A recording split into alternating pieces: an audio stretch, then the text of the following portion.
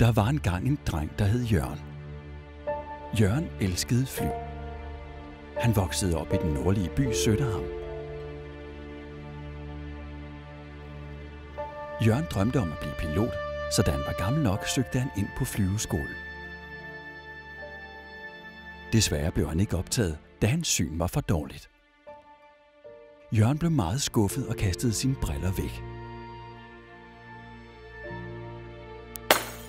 Jørgens interesse for synet fortsatte, og han blev uddannet optiker, efter at han havde afsluttet sin ingeniøruddannelse. På samme tid i et land meget tæt på. Bjart Dyste startede en norsk synskirurgi i 2001 sammen med Thor Breivik, efter at han var den første til at anvende den revolutionerende øjenlaserteknik allerede i 1990. Efterspørgselen på øjenlæser steg kraftigt, og Bjart og Thor åbnede hurtigt klinikker op i Norge. Det gik så godt, at Bjart begyndte at arbejde i Danmark, hvor den danske øjenlæge Per Julius startede Dansk Synskirurgi. De første klinikker lå i København, hvor Mimira stadig ligger i dag, og i Aarhus, som er Danmarks næststørste by.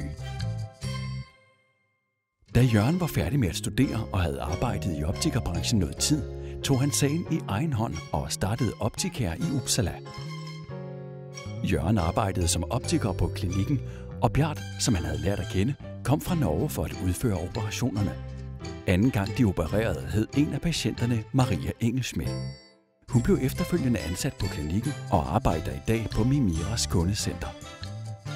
Jørgens idé var, at optikeren skulle foretage undersøgelsen og beregningerne, som kræves inden en synskorrigerende operation, og lægen skulle udføre selve behandlingen.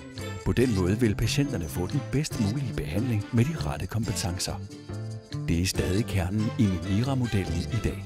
I 2007 slog Sverige, Norge og Danmark sig sammen, og Mimira blev grundlagt. Navnet Mimira blev skabt af et reklamebyrå.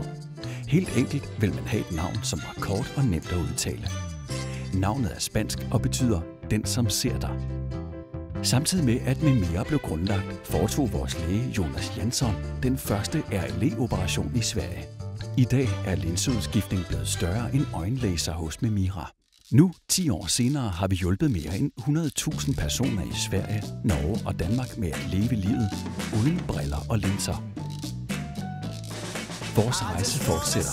Både Bjørn, Jørgen og Maria er stadig aktive i Mimira, men i dag har de mange flere kollegaer og et gennemarbejdet kvalitetssystem, som er baseret på al den erfaring, der er indsamlet gennem årene.